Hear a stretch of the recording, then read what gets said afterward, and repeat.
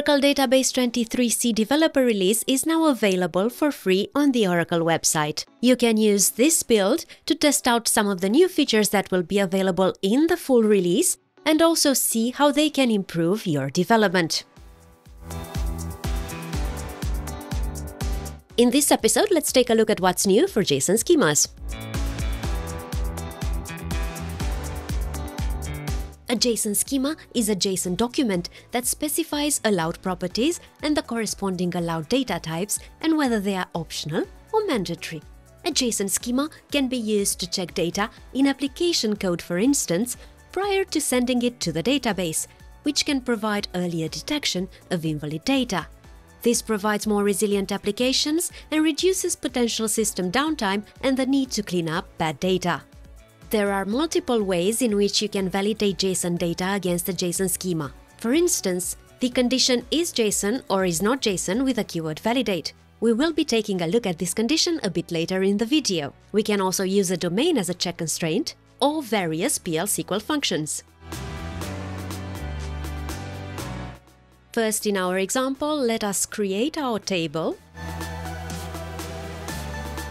By using the condition is JSON, or is not JSON with the keyword validate, we can test whether the targeted data is valid or invalid against our schema.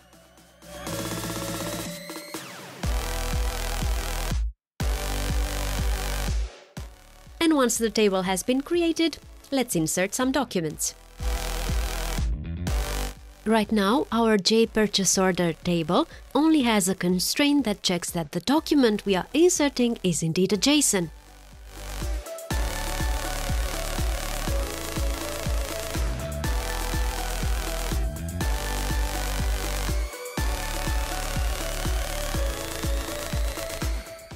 Now let's take a look at how the validation is performed.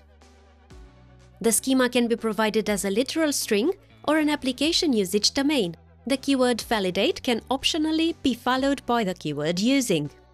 As you can see, this example works even if our table was created without any schema validation check constraint. Now let's also add a maximum number for the PO number and see what kind of result we get.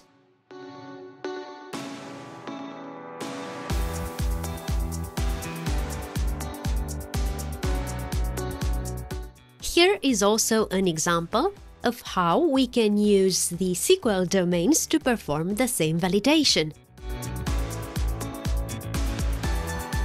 If you're interested in learning more about all the possible types of validation at your disposal, make sure to check out the documentation on screen. Thank you very much for your attention. I hope you found the information useful. If you're interested, you can download the Database 23c developer release for free from the Oracle website. And please make sure to also check community.oracle.com if you have any questions or if you just want to chat with us. Please don't forget to leave us a like and subscribe to the channel if you're interested in seeing more, and I'll catch you all in the next video. Happy coding!